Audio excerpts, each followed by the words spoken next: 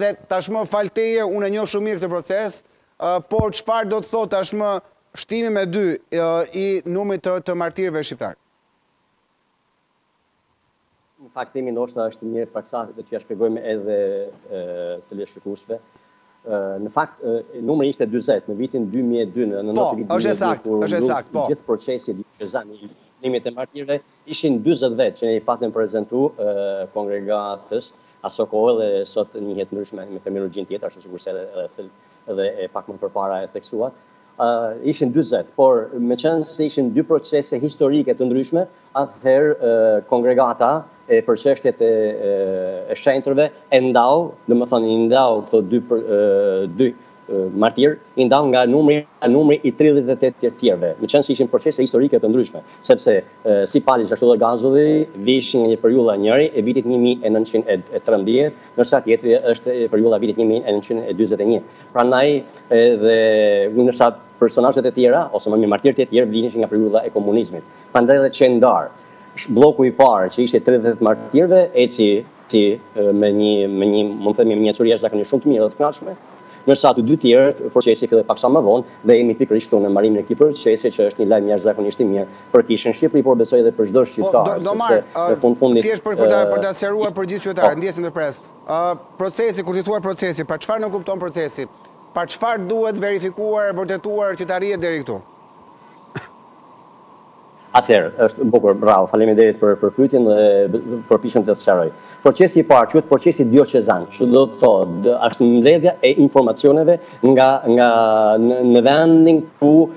kanë le, kanë kanë jetuar dhe kanë shërbyer martirët. Dhe ai proces zgjat sepse është mbledhja e informacioneve dhe të dëshmitarëve okularë e çdo informacionit dhe kudo që këto martirë kanë kanë kanë punuar. Dhe kjo mbledhje informacioni më pas çohet në, në tek dikasteri e, për çështjet e martirëve. Pse çohet kjo? Sepse do vërtetohet nëse nga mbledhja e informacioneve që është hapi i dytë i mëtejshëm te dikasteri, nëse nga mbledhja e informacioneve këto personazhe apo këto persona,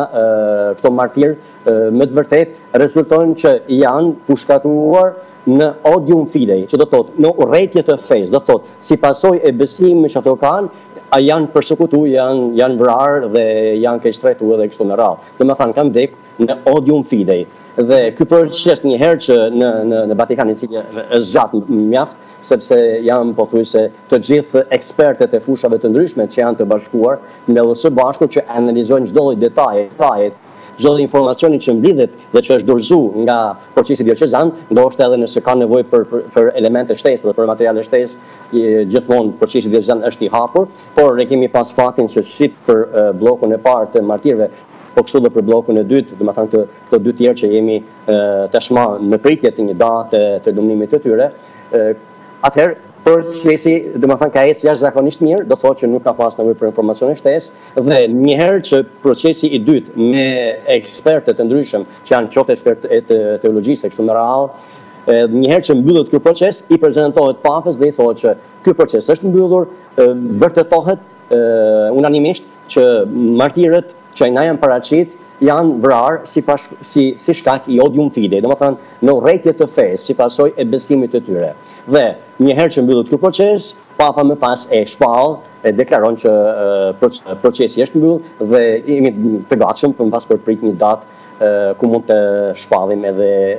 ceremoninë e lumnimit të tyre. Ok, tani si do të jetë procesi, çfarë do ndodhi? Se mbaj mend meshën, që u zhvillua, çfarë do ndodhi këtë rast?